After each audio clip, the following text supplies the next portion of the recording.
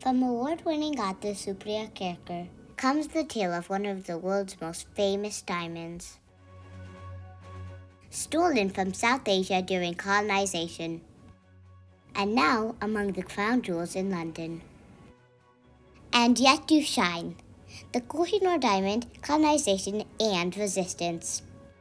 This powerful probing book is the story of the diamond, but it is also the story of anyone affected by colonization, anyone who has ever felt less than, reminding us all to never forget our shine.